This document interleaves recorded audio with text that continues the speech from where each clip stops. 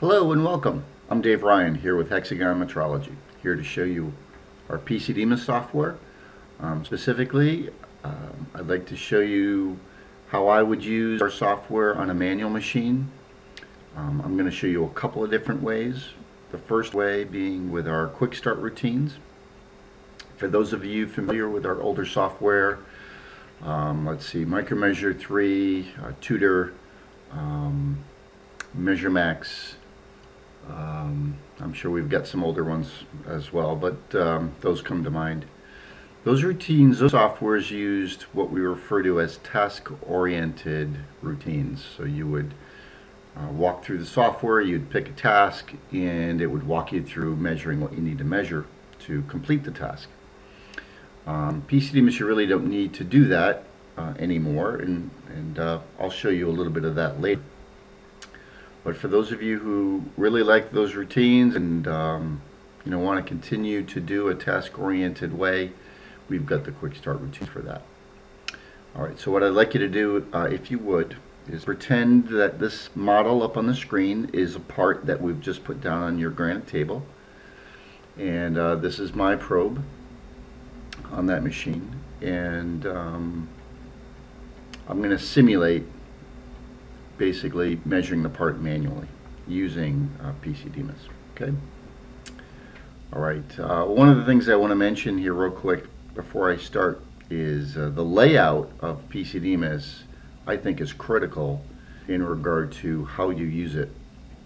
I've designed this particular layout to show you our quick start routines. I've actually got four different layouts up here depending on what I'm doing.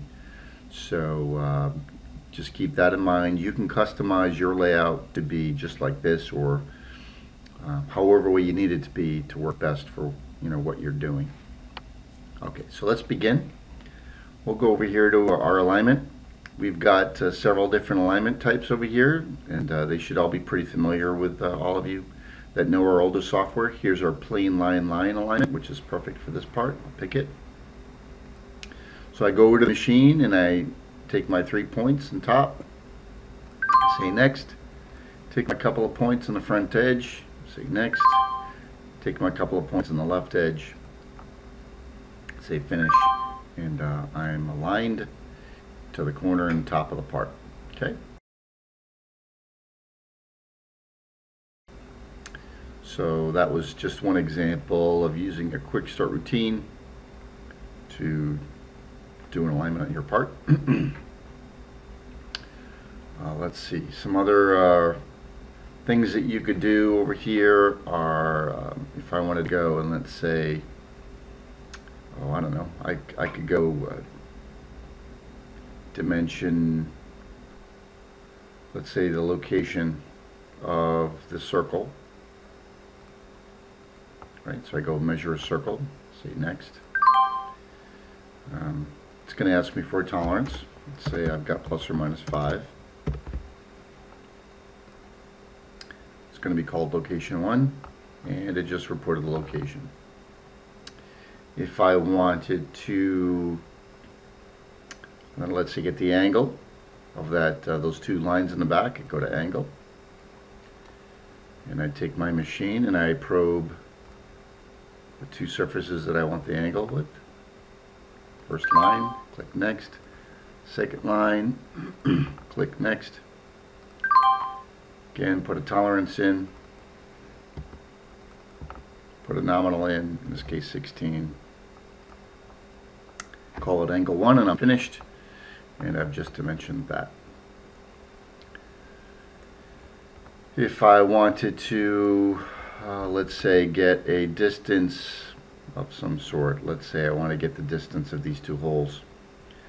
So again, we come over here, we go to our distance routine, and uh, I just start measuring the holes. There's one hole. Next. And here's another hole.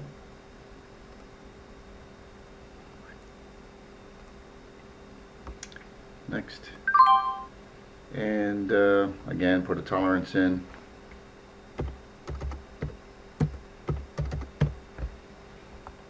Nominal is 2 inches. Next, call it distance 1, or, you know, again, whatever you want to call it. Uh, and then we're finished. Okay. So that's how, you know, you could use the quick start routines to sort of simulate how you used to do things in our older software. At this point now I can come in and uh, take a look at my report and I should have uh, again that location, the angle 16 degrees and then the distance between the two circles. That's in my report at the moment. Um, something else that you can do which is pretty neat uh, you know I've already measured this this back line and, and this this angle line and this back line.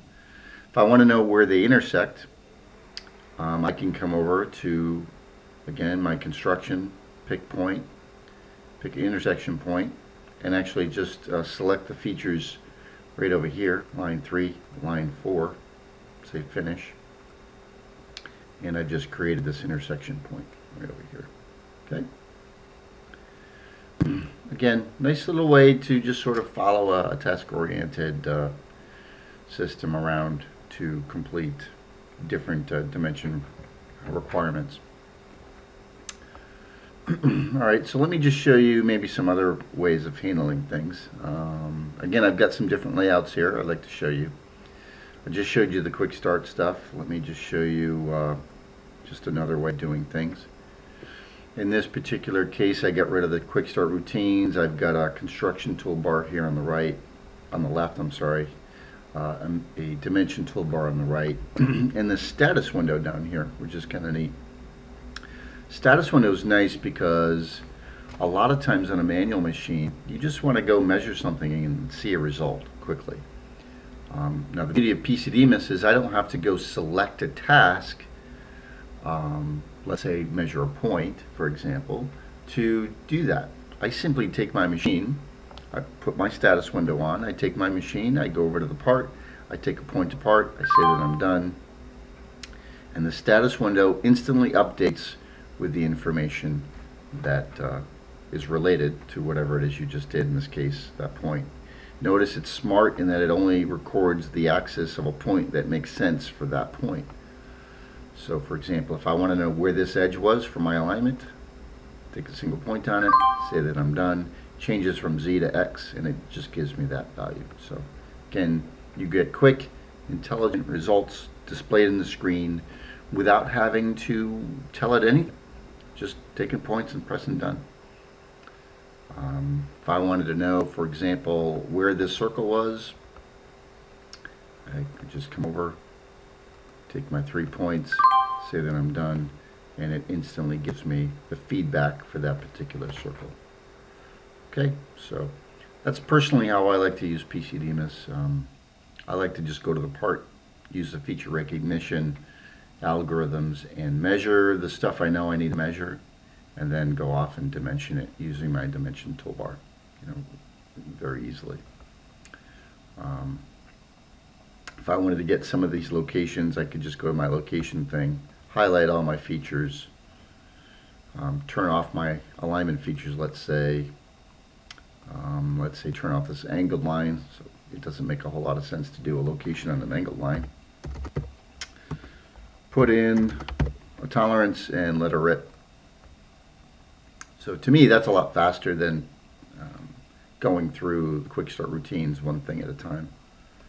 Basically, I just went in and uh, created uh, all those dimensions and it did it logically. It displayed all the correct axes for everything. Uh, if I want to, I can display, uh, again, the dimensions with the drawing. In your case, if you have PC PCDMIS Pro, which is more than likely, this will be the display of what you've measured on the screen. Okay?